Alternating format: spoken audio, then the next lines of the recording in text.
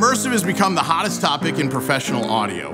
But to date, it's only been an option for huge megachurches. Those days are gone thanks to EAW. Welcome to Church Production. I'm Sean Miller. We sat down with Faith Community Church in Tucson, Arizona to get their take on how EAW's AC6 loudspeaker system with adaptive technology, when paired with an appropriate DSP processor such as Flux, can create an immersive audio experience for churches.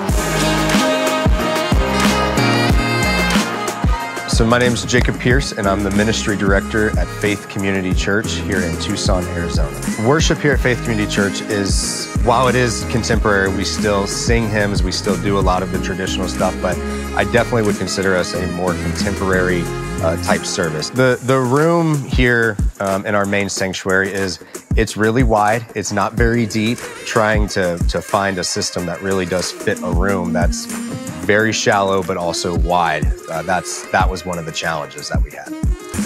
Faith Community has been using EAW's AC6 in combination with their Otto subwoofers. Each AC6 is made up of 36 individual amplified and processed transducers. This enables EAW's adaptive technology to provide precise and continuous control of loudspeaker coverage throughout the response range from 65 Hz all the way up to 20 kHz. But what that adaptive technology really does is allow for vertical coverage to be customized for what's best in the room. Faith Community was lined up to install install EAW's adaptive Anna LCR system. But days before the final decision was made, their integrator, Michael Garrison, president of Michael Garrison Associates, approached Faith Community about doing a demo of an EAW immersive system. Within a few short days, EAW, Michael Garrison, Hugo Laren from Flux, and Faith Community had all teamed up.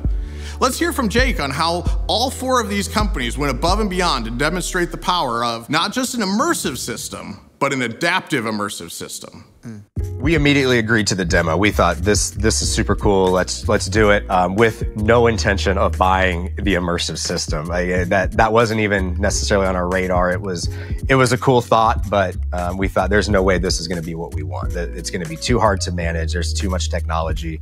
Um, we're we're very happy with just the left, center, right. EAW shipped out 19 AC6s and then 20 something Annas and, and Ottos. Set up this system, and then they started demoing things on the system. And it was very clear to us early on that there was something different about the immersive system. The adaptive part of this is unlike anything else. They're, they're, the ability to put a speaker in one location and then only have to have one box to be, especially with the AC6, to be able to really steer the sound exactly where you want it to go, um, to cover the room uniformly.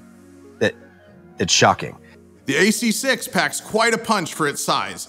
High trim heights made sure that these speakers weren't interfering with visual elements like video screens or sight lines. EAW's adaptive technology allows the sound to be aimed only where it needed to be, and the even sound coverage provided by AC6 is crucial to supporting an immersive environment. The powerful combination of EAW's resolution software and the Flux SPAT Revolution mixing tool helped bring Faith Community's immersive environment to life.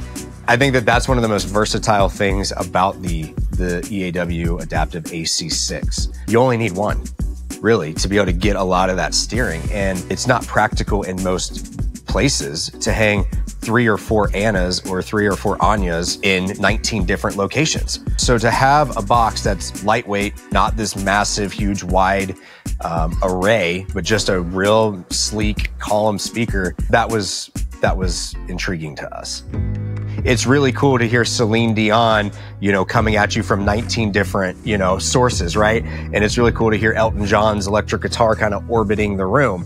Like, yeah, all of that's cool, but but how does that help us, right? What does that do for us? What we saw was the potential of this. Of what if we could pipe our vocals through those surrounds, adding some reverb and a little bit of delay to make it feel like the room is 10 times bigger than it is. Like there's 10 times more people than there actually are in the room to create this effect of there's support. I'm not the only one in here worshiping the Lord, but there's 10,000 people around me getting to worship with me.